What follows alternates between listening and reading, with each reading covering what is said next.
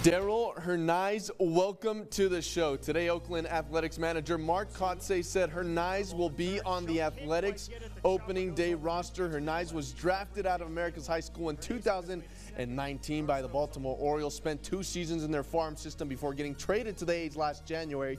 And after being too hot to stop in the minors last season and in spring training, the El Paso native is starting the year out in the bigs. The 22-year-old will be the youngest player on an A's opening day roster since Brett Anderson in 2010.